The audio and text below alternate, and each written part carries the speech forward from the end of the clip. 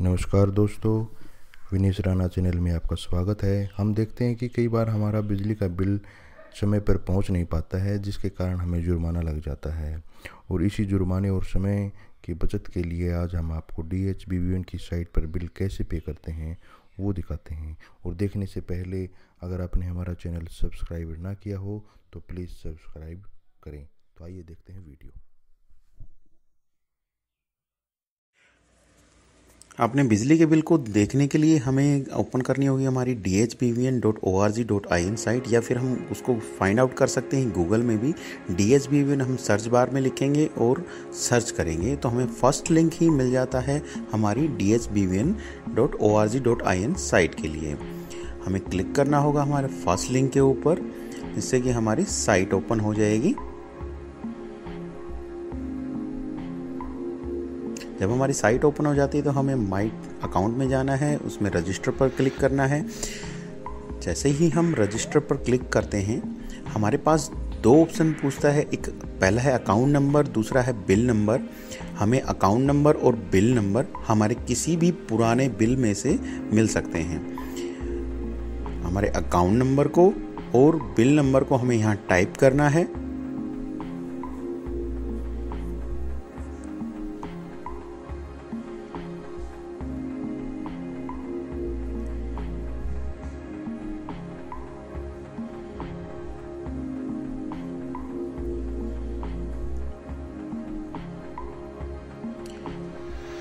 Account number और bill number जब type कर चुके होते हैं तो उसके बाद हमें क्लिक करना है सबमिट के ऊपर।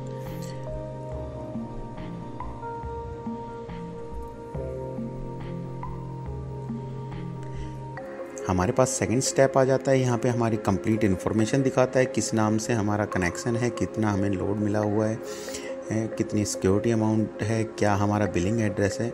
अब यहाँ पर हमें कुछ और एक्स्ट्रा हमारी पर्सनल डिटेल्स हमें डालनी होती हैं, जैसे हमारा ईमेल एड्रेस हमारा फ़ोन नंबर हमारा लैंडलाइन नंबर और हमें सिलेक्ट करना पड़ता है हमारे प्रोफ़ाइल के लिए पासवर्ड तो सबसे पहले ईमेल एड्रेस हम डाल देते हैं यहाँ पर, उस सेकंड में हमें हमारी ईमेल एड्रेस को दोबारा से कंफर्म करना पड़ता है।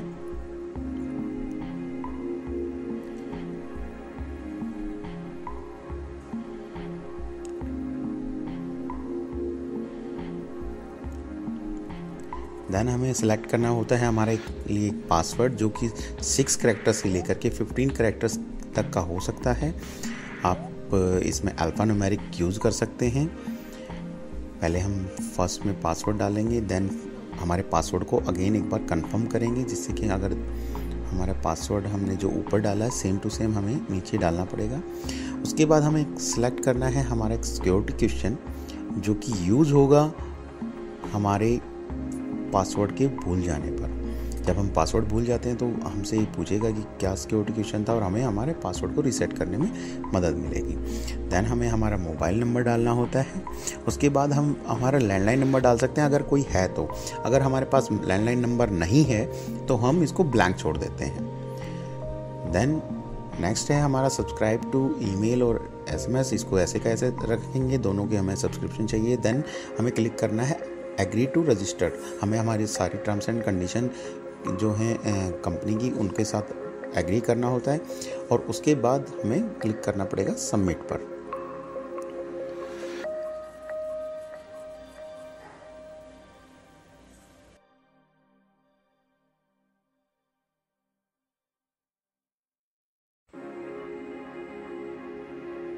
सबमिट बटन क्लिक करने के बाद हमारा प्रोफ़ाइल कंप्लीट हो जाता है और एक रजिस्ट्रेशन की ईमेल हमारे ईमेल अकाउंट में चली जाती है।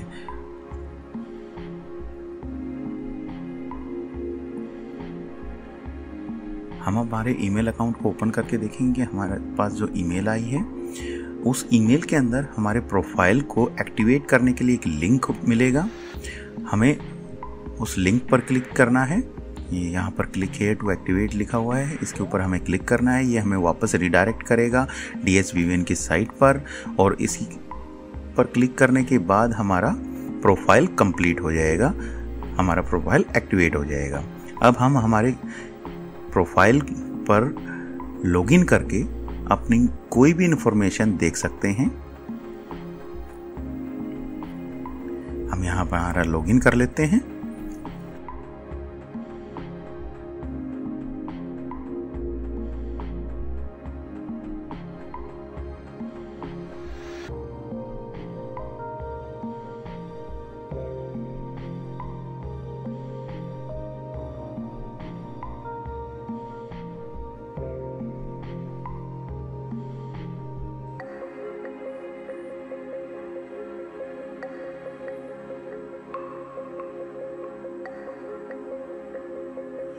लॉगिन होने के बाद हमारे पास हमारी कंप्लीट डिटेल्स आ जाती हैं।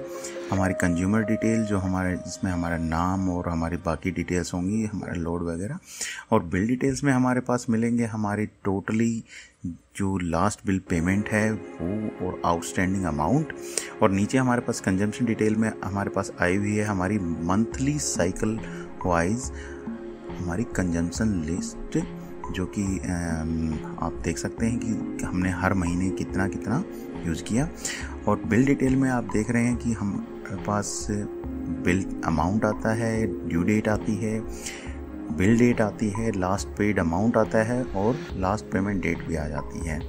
और इसी के साथ आता है हमारा आउटस्टैंडिंग अमाउंट। आउटस्टैंडिंग अमाउंट अगर आपका ज़ीरो है तो आपका अभी कोई भी बिल पेंडिंग नहीं है। और अगर आपका यहाँ आउटस्टैंडिंग अमाउंट दिखाता है तो दैट मीन्स कि आपका कोई बिल पेंडिंग है और आप उसको यहाँ से पे कर सकते हैं। आपको अगर आपके पुराने बिल देखने हों तो माई अकाउंट में बिल इन्फॉर्मेशन में आप व्यू बिल पर जब क्लिक करेंगे तो आपको आपके लास्ट वन ईयर के सारे बिल यहाँ पर शो हो जाएँगे।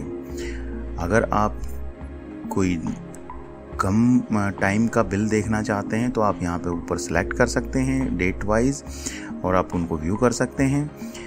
बाय डिफ़ॉल्ट ये आपको वन ईयर के बिल्स को शो करता है और इससे ज़्यादा आपको ये बिल शो भी नहीं करेगा।